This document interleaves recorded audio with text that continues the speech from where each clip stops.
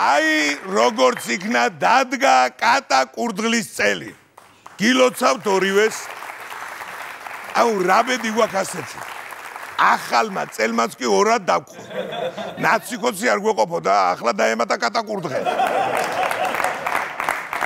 მოგესალმებათ ნიკა არაბიძის შოუ ჩემო ნაბახუსევო განსხვავებულებით გადაღლილო და ოდნავ ღვიძლ გადიდებულო ქართველებო.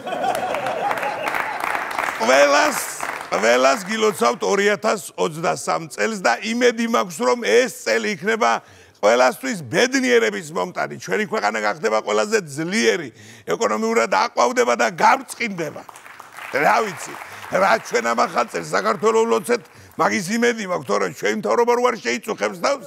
ეგ ვიცი.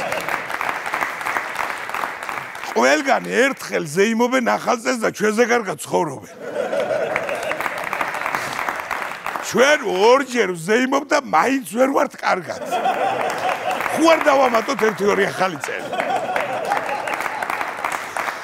მაგალითად 28 იანვარს იყოს უფრო ძველთახალი წელი. მერე 1 მარტს კიდე უფრო ახალი წელი, ან კიდე უფრო ძველი. 1 მაისში, 1 ივლისში და ეგა რა. პოლიტიკურად და ეკონომიკურად შეიძლება არაფერი შეიცვალოს, მაგრამ საახალწლო განწყობა გვექნება მთელი წელიწადი. გავრცელდა ინფორმაცია, რომ ახალი წლის ღამეს დაახლოებით 500 ადამიანი გადაიყვანეს საავადმყოფოში ალკოჰოლური ინტოქსიკაციის გამო. აი მართლა кейპის მეტი რო არაფერი გვაინტერესებს ქართველებს.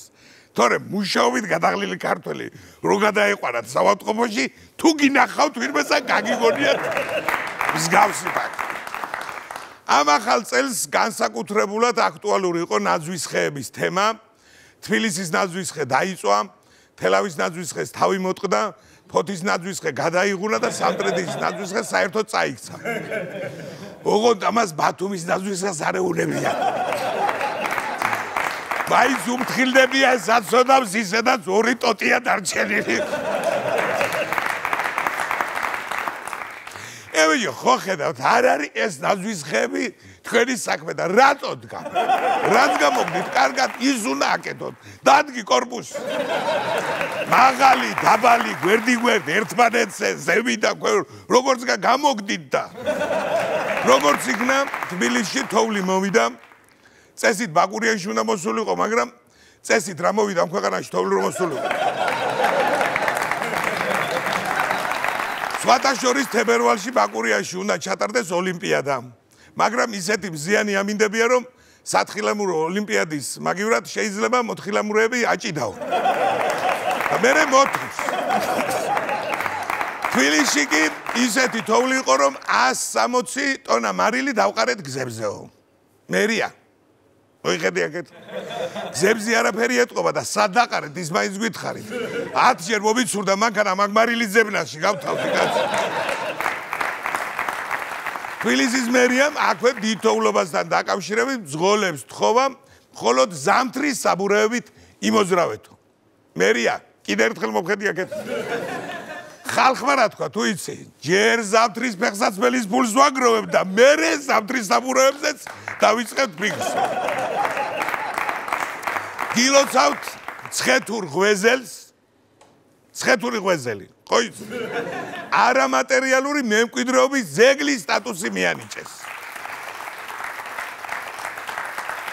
ეს მართლა კარგია მართლა კარგია, მაგრამ მე ის მაინტერესებს, ამ ქვეყანაში მაცხოვრებელ ხალხს როდის მიენიჭება ადამიანის სტატუსი? პერაშკი რო გაჯობებს, გაც? პერაშკი, ეს აცხოვრება? ისე მცხეთურ ღვეძელს რო არიჭებს, ზეგლის სტატუსი. რანამუსი თუნდაც შეხედო თვალებში ლობიოს. მაგა გადაარჩინა ნახევარი საქართველოს. ზეგლის თუ არა, ბიუსტის სტატუსი არ ეკუთვნის თქვენგან.